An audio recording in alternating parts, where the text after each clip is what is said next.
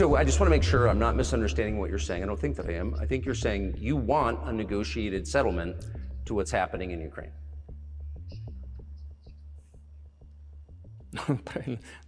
Right. And we made it. We prepared a huge document in Istanbul that was initialed by the head of the Ukrainian delegation. He affixed his signature to some of the provisions, not to all of it. He put his signature and then he himself said, We were ready to sign it and the war would have been over long ago. It was a clip from Russian President Vladimir Putin's interview with former Fox News host Tucker Carlson. It was Putin's first interview with Western media since Russia invaded Ukraine. Earlier, I spoke to the former Russian Prime Minister Mikhail Kasyanov about that interview and Putin's message that the U.S. should negotiate with Russia to end the war. Joining me now is former Prime Minister of Russia, Mikhail Kasyanov. Nice to see you again, sir. Hello. Pleasure to be in the program. Yeah, this was Putin's first interview with an American outlet since 2021, uh, and it comes, of course, two years into Russia's invasion of Ukraine. What do you make of the timing of the interview here? Uh, timing is uh, very crucial for Mr. Putin. I am a little bit surprised that the, uh, I would say, quite known American journalist decided to provide some special media platform for uh, Putin's propaganda. Yeah, that that was exactly the interview was set up as uh, Putin's propaganda, and he did it in a, in a, his normal Putin's way. Though, I, I, mean, I think some people would question um, the choice of Tucker Carlson, who is not only a, a fierce supporter of Donald Trump, but has also been uh, sort of warm to to Russian ideology and, and to the things that Putin has said. Obviously, he chose Tucker Carlson for those reasons, I would imagine. Uh, I agree. I agree. And in fact, just what uh, Putin just described in this interview, that's exactly addressed to people who are supporting uh, the funds of Mr. Carlson and uh, people who are supporting just uh, Donald Trump. Yeah. That's exactly the issue just built up in the in the presidential, um, uh, I would say, race, which already have started. Yeah. Let, us talk about one of his messages, one of sort of his main message, which seemed to be a call on the U.S. to negotiate with Russia to end the war, uh, suggesting that the end of the conflict will not happen on the battlefield, but it will have to be through some sort of agreement with the West. He didn't even mention Ukraine in this. How do you interpret those comments? Uh, we know just all all uh, wars uh, and on a, on a, negotiating table. But the issue here is uh, absolutely, you absolutely correctly just mentioned that uh, negotiations with the West, not with Ukraine, because just always Mr. Putin and his inner circle, just a few people, they believe that everything in, in this world that's uh, under control of United States and all negotiations on, on conflicts and everything should be settled with them. Putin is dreaming to be a leader together with the American president, as it mm. was in Soviet Union time, so that all problems, all I would say challenges appeared in the world should be settled by two leaders. And he calling again for this system, for this, for, for such a model.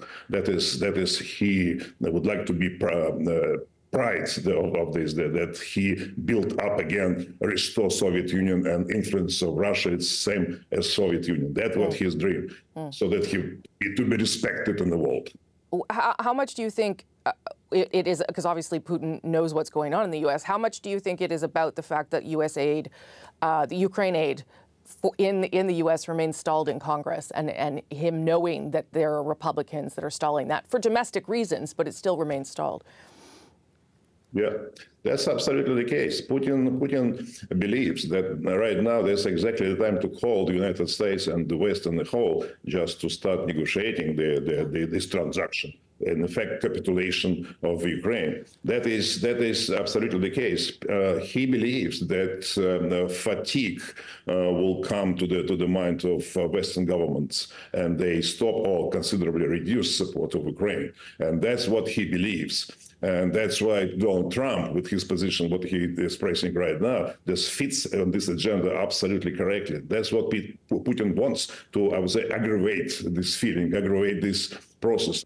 I do want to ask you about two other little pieces in the interview before I just get sort of your overall thoughts on, on why he did this. But um, Carlson did raise the case of American uh, journalist Evan Gershkovich. He's a, a Wall Street Journal uh, journalist who's been imprisoned. Putin uh, alleges he, he was spying. But he also said in that interview that he does hope he returns to his homeland. Should anyone in the United States believe that, that Putin is open to allowing this journalist to be freed? Uh, I think that's the only news in this particular yeah. interview which needed to be. And uh, he directly expressed his willing to, to, to change his agent, who is killer, just murder, uh, for, for, for, for the journalist who just no one believes he's, he's working for whatever CIA or any uh, other mm-hmm. agencies. He wants to bring back his agent. That's what uh, he openly give this signal. So that there would be uh, essentially an exchange of um, people in, uh, in prison, in prisoners, essentially, to get Evan out. Is that right? I guess so. Yeah, yeah. I, also want to raise the, the there was a Canadian um, moment in that interview uh, because of a, a, man that was uh, in inside Parliament, the House of Commons, when uh, President Zelensky was here. Subsequently, found out that he had um, served on the, the, the Nazi side during World War II, and uh, Mr. Putin brought that up. I, I guess as an attempt to embarrass Mr. President Zelensky. Is that how you interpreted that? Um, uh, in fact, that Mr. Putin uh, uses this uh, simply to emphasize and to uh, to find another proof that he is fighting with Ukraine just to to destroy Nazi. Of course, right. this is his imagination. He continued to to create just different stories. Of course, extreme right is in every country, but Putin believes that the government in Ukraine this and this uh, case what happened in Canadian Parliament, of course, gives him another opportunity to demonstrate those all those Ukrainians are Nazi or just and those um, who support them in Canada just also don't understand they're supporting the Nazi regime or something, Nazi feeling. That's what he uses just to have a, a, a, a I would say, the, the tough, tough issue for Canadians given that you know Putin so well, um, maybe not anymore, but you used to, how do you think he would have walked away from that interview? Like, what would he what would he have thought about how he did and what his how his message was going to be received? I think he is completely satisfied uh, because of the simple reason. First, prior to the interview, he got a list of questions, and they prohibited Mr. Carlson to answer to ask another a number of questions about, for instance, all these um, um, uh, military military uh, criminal activity, just what already registered and supported and, and produced for, for, for the for the Hague court, and just pressure on opposition in Russia and imprisoning just political leaders and all the things. Yeah. that was prohibited to, to, ask him. That's why he got the questions he wanted to get, mm-hmm. and mm-hmm. he you answers because he already just repeated many, many times. Yeah. And that's why he is absolutely happy. What, why does he care so much about how he is perceived in the West? Why, why do you think that's so important to him? Because just he wants the United States to reconsider their position and would stop supporting Ukraine. And he believes that these uh, Trump's supporters would uh, consider, would follow this, the, the, this trend. And that's why he provided these arguments, which is created by him. Even in history, he made a, a half an hour lecture to Mr. Carson. Mm-hmm. The, the, the, journalist even didn't understand what he was talking about. Yeah. but it, it is funny stuff, but it is happens every time because yeah. Putin just like to, to build up his own textbook of history.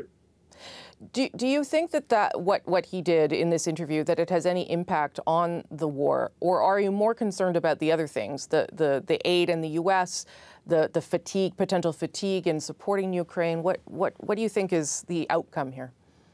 No influence at all. The only, the only purpose is, is American citizens supporting Trump. He wanted to help Mr. Trump to win if uh, Russian argument is placed. In any in any case, let this argument would be just Putin's argument. That's what he made this job. Uh, uh other people just even would, would know would know would know uh, watch or listen to this. Mr. Kasyanov, nice to see you again. Thank you so much for uh, taking the time to talk about this with us. Thank you very much. It's a pleasure.